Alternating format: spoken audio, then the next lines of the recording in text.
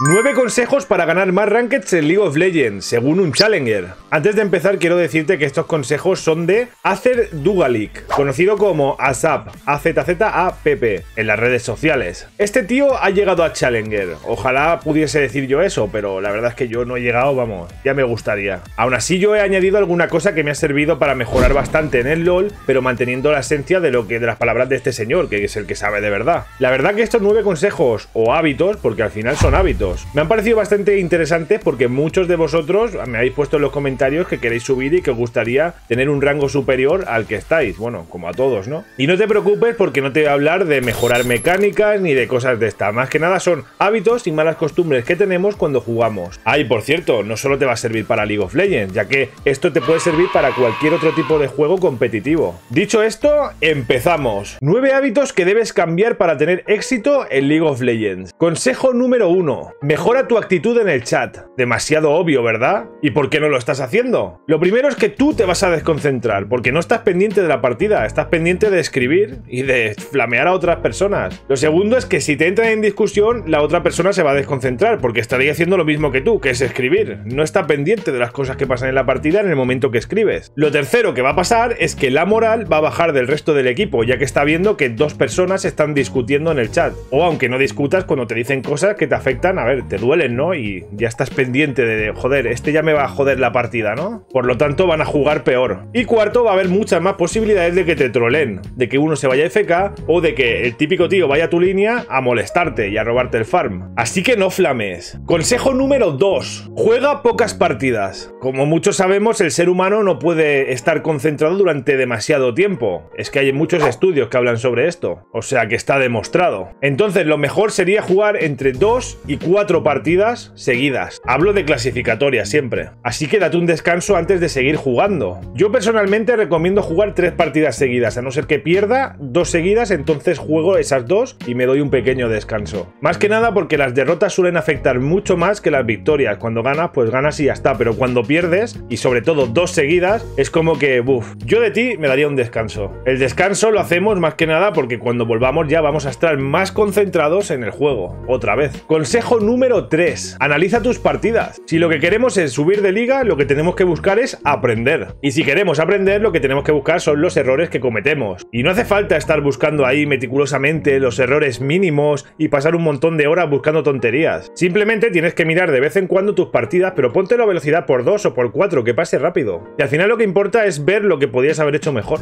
Cuando estamos jugando en partida, estamos viendo un punto de vista muy pequeño, que es nuestra cámara. Y hay muchas cosas que no podemos entender con un punto de vista tan pequeño. Realmente esto es como en la vida real, que solo vemos las cosas desde nuestra perspectiva. Pero si hacemos el ejercicio de mirar más allá, entenderemos muchas más cosas. Entonces mira repeticiones de vez en cuando y esto te hará mejorar. Consejo número 4. La constancia. Recuerda que las temporadas de League of Legends duran bastantes meses. No quieras subir rápido. Lo importante es que juegues pocas partidas de calidad a menudo. Jugar muchas partidas nos hará jugar peor, ya que la concentración va a bajar. Así que juega pocas partidas al día pero que estas sean de calidad. Si después quieres seguir jugando, lo que puedes hacer es irte a Aram o jugar partidas normales. Por cierto, si te está sirviendo este vídeo, ¡suscríbete! Consejo número 5. Elimina el piloto automático. Cuando juegues Rankeds, entra ya con la mentalidad de estar concentrado. Tienes que estar pensando lo que va a hacer tu rival en cada momento. Busca estar concentrado al 100% en todas las oportunidades que se te presentan. Piensa como si estuvieses jugando en un torneo. ¿Qué objetivos vas a hacerte? ¿Qué estrategia vas a utilizar? Pinguea en el chat cuando gasten hechizos de invocador para controlar los tiempos y busca los fallos del enemigo. Y sobre todo recuerda que la partida ha empezado cuando seleccionas los campeones. Que luego no te sorprendan con hechizos de invocador que no te esperabas del enemigo o ganqueos a niveles muy bajos. Consejo número 6. Diviértete. Este es para mí uno de los más importantes y cuando lo aplico es cuando más gano. Si no te lo pasas bien jugando es mucho más fácil cabrearse y que acaben saliendo mal muchas más cosas. Un error muy grande es jugar siempre los mejores campeones del parche. Y mira que yo hago vídeos sobre eso pero no sirve de nada jugar con un campeón que está muy fuerte si no sabes usarlo bien. Juega con los campeones que se te dan mejor aunque no estén en el meta. Hay gente que está jugando Timo en Challenger y gana un montón de partidas, con eso te lo digo todo. Además recuerda que el LOL es un videojuego, y los videojuegos están ahí para entretenerte, divertirte y pasártelo bien. Y no te estás ganando la vida ni siquiera compitiendo, ¿por qué te afecta tanto? Consejo número 7. No morir. Este yo creo que es el más importante de todos los consejos de este vídeo. Cuando mueres estás dando oro al rival de tu eliminación. Además, oro extra porque va a poder farmear más que tú. Y encima está ganando experiencia mientras tú reapareces. No se trata de estar jugando cobarde y no entrar a pelear nunca. No estoy diciendo eso. Se trata de darle prioridad al farmeo y a los objetivos. Y cuando el enemigo cometa un error, que lo va a hacer, pues será una buena oportunidad para sacar ventaja en esa pelea. En el LoL nos gusta pelear demasiado, pero recuerda que tu objetivo es ganar para subir. Muchas de las peleas que hacemos en este juego no son necesarias.